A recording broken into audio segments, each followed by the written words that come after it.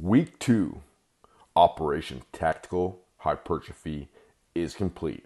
Another great week for Tom, and Tom gained two more pounds. Tom is scaring horses, farm animals, Sasquatches, and everything else in the pro- process. So before we get real deep into the training here, I just want to let you guys know Tom's in charge of Jailhouse Strong Australia. I will put his email at the bottom of this uh, video. So if you want to get a shirt shipped internationally, you can um, you can contact Tom there. Also, Tom will be carrying Tijuana Barbell Club shirts, a flat shipping rate anywhere in the world. So look Tom up, hit him up, get your shirt. So here's just kind of started with today. You know, first um, Tom did the yoke.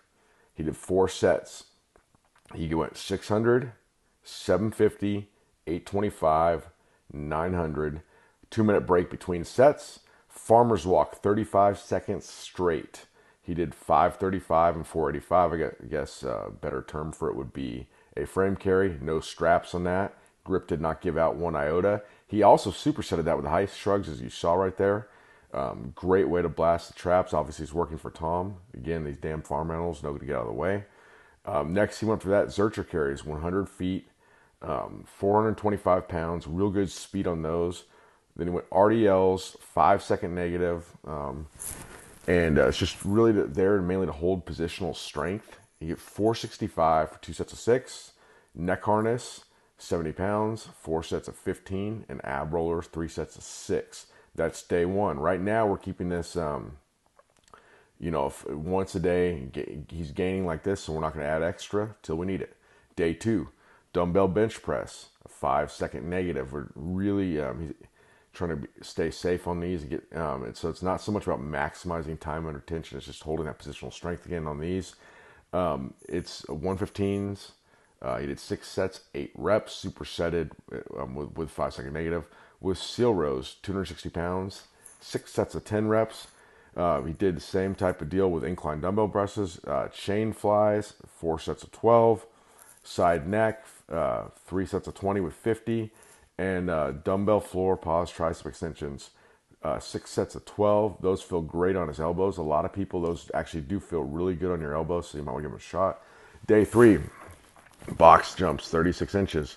Um, those were pretty easy for him, but just really getting a good warm up, activation, and keeping him moving because we, you know, if you as you gain weight, it's Operation Tactical Hypertrophy. This is not Operation Get Big and not walk up a flight of stairs. So he has to keep moving. That's where integrating some hill, you know, not full out yet, hill sprints, some light agility drills. So he's going to be mobile, agile, and hostile, not just a big ass son of a buck that can't move.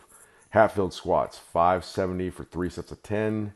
Um, with the backward sled, sled drags, uh, forward neck harness, uh, step ups, 24 inches and good athletic movement, leg curls, glute ham raises, and landmines there. Next, day four is a very strict arm day. Everything's extremely strict, perfect form. You know, feeling the muscle, muscle intention, not just trying to go ape and, and move weight from point A to point B. Finally, day five, um, lateral cable raises, uh, face pulls, neutral grip pull ups, um, Scott presses. These are very good way to keep tension on the shoulders, like an Arnold press, sort of, but not fully locked out.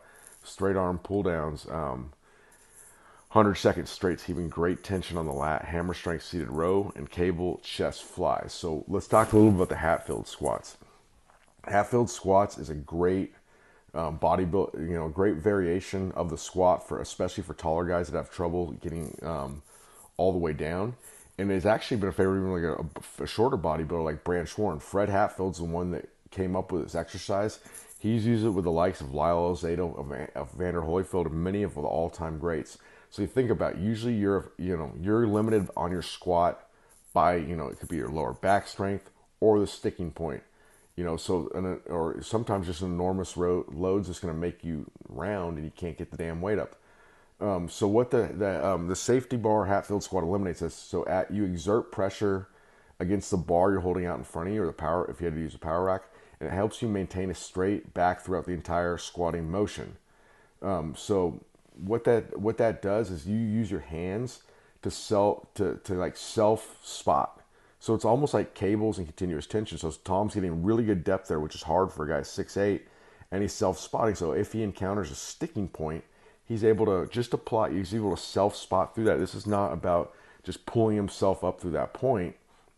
This is about self spotting. So yes, you could throw on a thousand pounds and just you know try to prove a point, or you can get the most out of it. It's like it's like he gets continuous tension on that.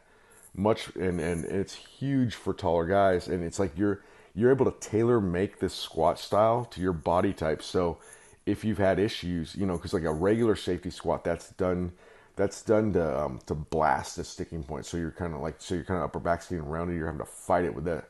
Uh, the Hatfield squats to circumvent a sticking point. It's causing an issue, and you're able to get around that.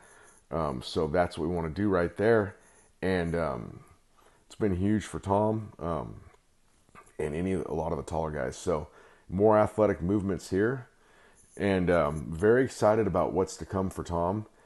And um, you know, so here's a Scott presses right here. So he's got continuous tension on the muscle. We'll get Tom to hold those face pulls a little bit longer and end with his hands neutral. But overall, man, really looking good. Really proud of Tom. Um, we're going to meet up soon in Australia. Exciting stuff to come. And keep up the good work, Tom.